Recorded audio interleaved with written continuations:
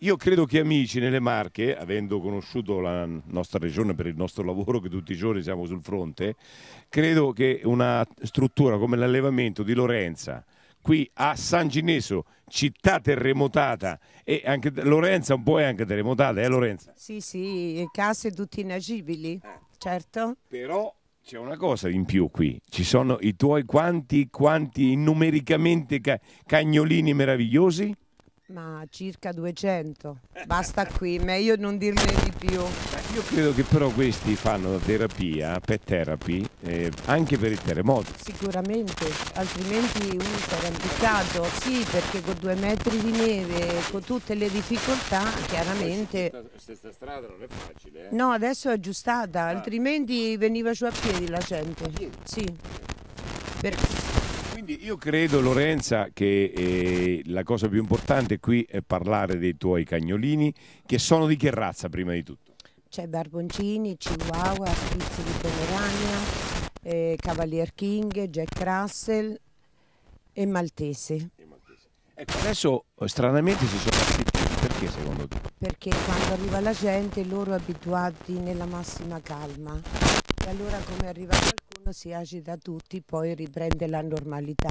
Certo, infatti questa è una cosa incredibile, cioè, quando siamo arrivati abbaiavano tutti in coro, come fosse proprio una protesta contro le telecamere di TV Centro Marche e i protagonisti, il nostro format è uno dei più seguiti della regione, che ovviamente grazie ai nostri collaboratori tecnici, operatori, regia, editori, che sarei io, mettiamo l'anima e il cuore. Questo non sarà un servizio qualsiasi per noi, sarà qualcosa che dovrà far capire alla regione che noi marchigiani siamo un popolo speciale che anche nei momenti peggiori sappiamo reagire anche attraverso l'aiuto di questi meravigliosi e splendidi cagnolini che vedete nelle immagini, che sono di quelle razze, ma che comunque potete, chi, tu li vendi ovviamente e quindi chiunque li vuole acquistare lo può fare venendo qui da te, in questo splendido giardino, scegliendone uno per uno. Voglio questo, sceglie quello. No, beh, questi sono diciamo le fattrici. Sì.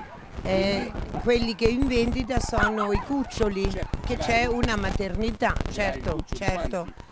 Eh, ma ora 50, ne sono pochi, però anche 100, 100 tutte fattrici, quelle che vedi. I cuccioli sta dentro, c'è una maternità riscaldata e apposta.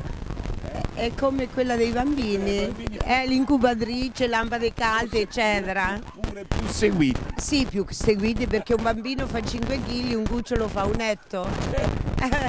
Io credo che qui Lorenza questa passione è una, una cosa antica per te o è nata recentemente? No, no, no, no, io questo lo faccio con la morte di un cane, Ah, muore un cane nasce una grande passione. dis- dalla Come disperazione. si chiamava il cane?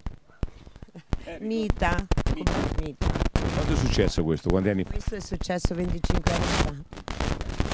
Beh, io credo che eh, chi ama i cani sia persone anche loro... Lo- Ne voglio talmente tanti che non voglio più soffrire così. reazione. Una reazione, prima 90 abbandonati, dopo è morta pure una mia amica con tumore a 30 anni, mi ha lasciati 50 di razza e da lì ho Però il iniziato. nostro servizio non deve essere un servizio sul dolore, ma sulla gioia. Ah, ecco. Sulla gioia.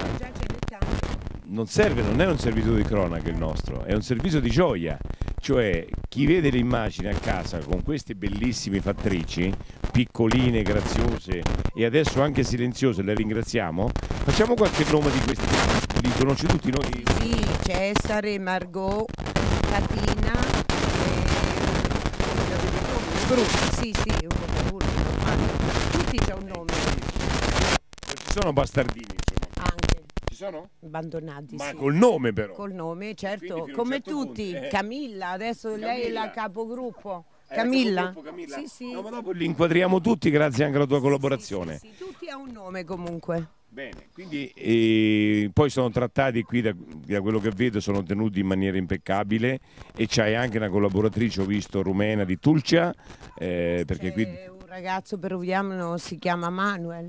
Anche il peruviano. Sì. Benissimo, i peruviani ce l'abbiamo anche noi, sono bravi. Sì, molto, Eh, molto, molto. eh, C'ha una grossa natura, passione.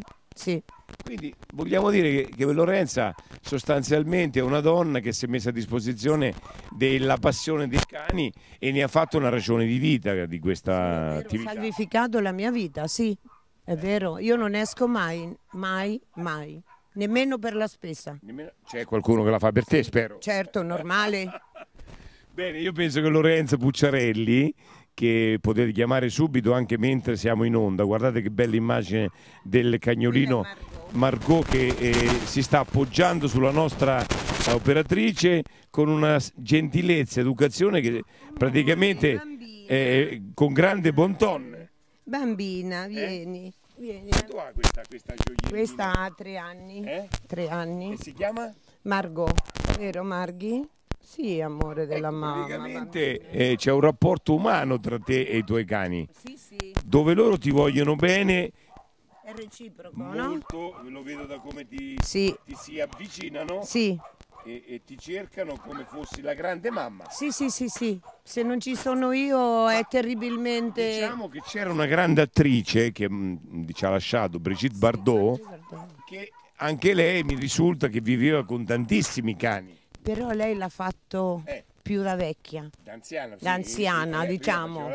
Eh, eh, io invece l'ho fatto un Da- da po'... giovane. Ho iniziato, avevo 37 anni. Eh. Eri giovanissima.